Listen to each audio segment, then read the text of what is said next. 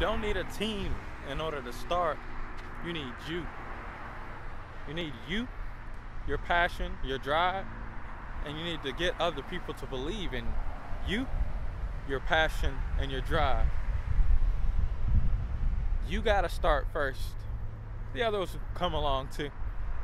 I feel like a lion, like a leader of the pack, because I know how it is.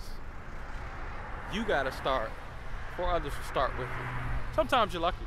Sometimes everybody will start with you, but you got to start too.